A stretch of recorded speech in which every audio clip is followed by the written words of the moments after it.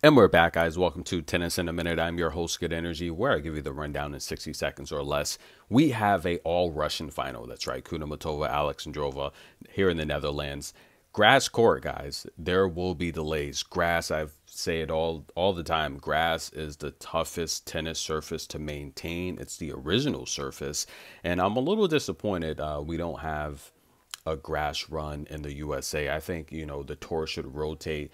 Give us a grass run in the USA. I know there's a lot of tournaments in the USA. We have a ton, right? But the reality here is give us a grass run before Wimbledon. I think it would be cool. Do something at the HBCU universities, you know, guys, the ATA is the, one of the oldest professional sports league in the USA. That's right, the African Tennis Association we were doing tournaments, you know, over 100 years ago at the historic black colleges, all grass. We had some of the biggest tennis, tennis tournaments there were, you know, at the time. And uh, I would love to see some something done at, you know, uh, HBCU, do a grass tournament there, a 250 or something. Kamaru Murray's doing some great things in Chicago. Watch out for him. But nonetheless, grass, like I, I say time and time again, it's one of the toughest tennis surfaces to maintain uh, especially on a dark, gloomy, damp day, uh, the court gets wet. So what they do, they take this black rod thing here and they pretty much uh, just, you know, kind of just move it around the court. It absorbs any type of moisture on the court and throws it back into the air, which is pretty cool. Now, clay is pretty tough to maintain as well, but grass, without a doubt. No grass surface is equal. They're all different, you know, depends on how, you know, what what area of the court is getting a lot more wear and tear you know the surface itself it's not going to be level. It's not going to be even. It's it's nowhere near hard and it's definitely unlike clay. You have to love grass guys and, those drop shots on grass they do not bounce back. Katerina guys she is now look, she's forced the third set, and I have to be concerned with Veronika Kudermetova.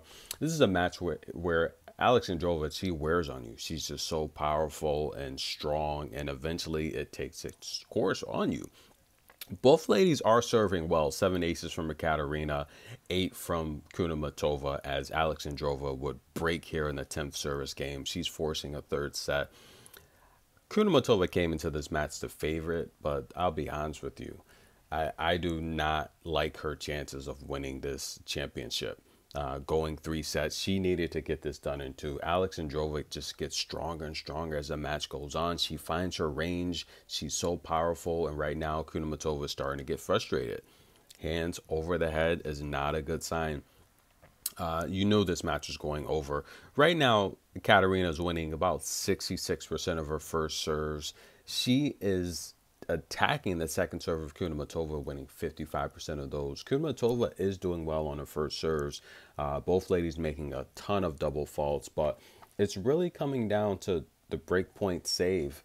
Look, Kudermetova is keeping Alexandrova under heavy pressure point situations. She's had 11 breakpoint opportunities, but she's only cashed in on three of them.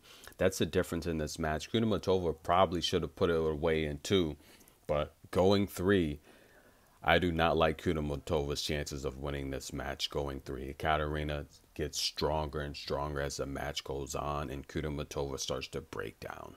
Get your popcorn, buckle your seatbelts. We are in for a ride. Three set, winner take all championship. You can't ask for anything else on a Sunday morning.